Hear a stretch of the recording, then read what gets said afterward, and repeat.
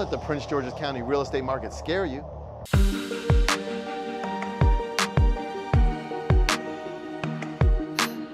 I'm Melvin Yates with the flagship group of Exit Flagship Realty.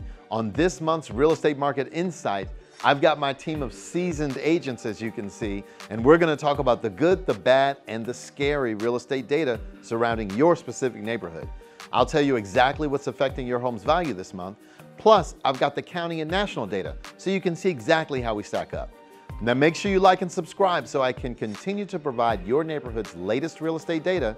You're in the right place for the facts if you want to put a real estate goblin game plan together. Now for the numbers. The average sales price last month was $414,700. This is a 0.9% increase over the last 12 months and a 0.3% decrease over the last 30 days. The total sales volume in Prince George's County, all added together, was $324.4 million. Now that's down 5.3% over the prior month. Last month, the average time it took to find a buyer here in the county was 21 days. We had 1,126 homes come up for sale last month, and we still only have about six weeks of total inventory, which isn't quite enough. If you're a buyer right now, don't let Michael Myers or anyone else scare you off. Prices will continue to rise over time regardless of interest rates, and history has shown us that for the last 50 years. Many home sellers are being a little more flexible, so you may not have to give an arm and a leg to get into your new home.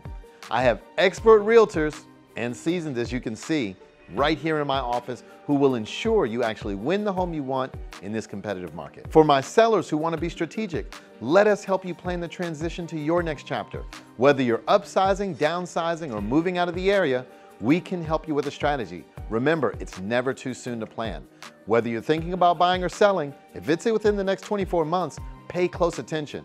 Meeting with a real estate professional while it's still early in the process shouldn't frighten you to death.